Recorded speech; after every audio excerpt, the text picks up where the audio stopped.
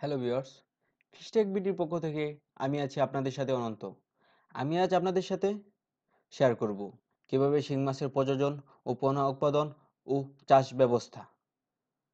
আমাদের দেশে শিং মাছ অত্যন্ত জনপ্রিয় একটি মাছ।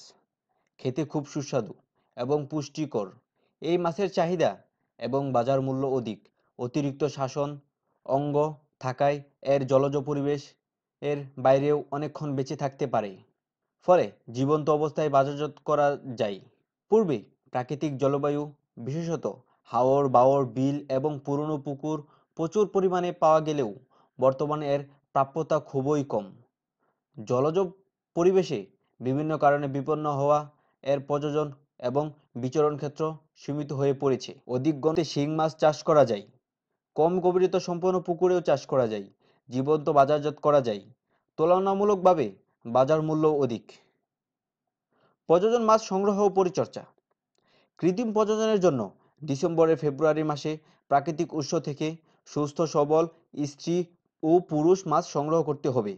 প্রতি শতাংশে আশি থেকে একশোটি মাছ মজুত রাখতে হবে। মজুতকৃত মাছগুলো প্রতিদিন দেহ, ওজনের শতকরা চার থেকে আট ভাগ হারে তিরিশ পার্সেন্ট প্রোটিন সমৃদ্ধ সম্পূরক খাবার সরবরাহ করতে হবে। বাজারে প্রচলিত বাণিজ্যিক খাবার ব্যবহার করা যেতে পারে, অথবা শতকরা চল্লিশ ভাগ ফিশমিল বিশ ভাগ সরিষার খোল, বিশ ভাগ চালের গুঁড়ো, পনেরো ভাগ গমের ভুসি, চার ভাগ চিটা গুঁড়া এবং এক ভাগ ভিটামিন প্রিমিক্স সহযোগে এই খাবার তৈরি করা যেতে পারে। মাঝে মাঝে জাল টেনে মাছের স্বাস্থ্য পরীক্ষা করতে হবে।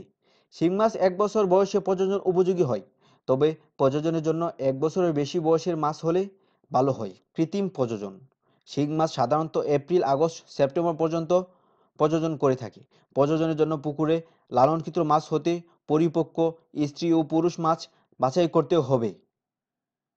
কৃত্রিম প্রযোজনের জন্য স্ত্রী, পুরুষ মাছ একিশ টু দুই অনুপাতে পুকুর থেকে ধরে আলাদা আলাদা ট্যাঙ্কে রাখতে হবে।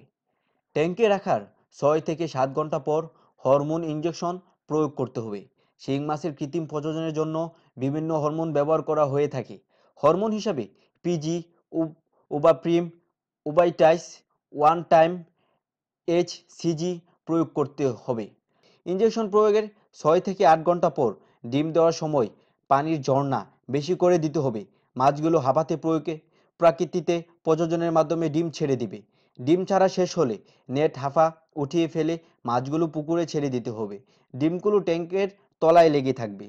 চব্বিশ থেকে তিরিশ ঘণ্টার মধ্যে রেণু স্ফুটনাঙ্গ পর ঝর্ণার পানি প্রবাহ বাড়তে হবে। রেণু স্ফুটনাঙ্গ শেষে রেণুগুলো ট্যাঙ্কের কিনারায় একত্রিত হয়ে এবং সাথে সাথে সাইফোন, পাইপ ধারা, পচা ডিম, ময়লা ইত্যাদি সরিয়ে ফেলতে হবে।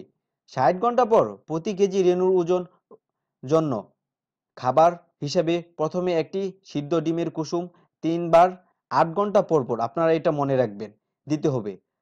তারপর রেণুপোনা নার্সারি পুকুরে লালন করার ব্যবস্থা নিতে হবে। আশা করি আমাদের ভিডিওটি আপনাদের অনেক সাহায্য হবে। যদি মাছ চাষে নতুন নতুন ভিডিও পেতে চান, তাহলে অবশ্যই আমাদের চ্যানেলটি লাইক, শেয়ার, অ্যান্ড সাবস্ক্রাইব করতে বলবেন না। Don't forget bell icon.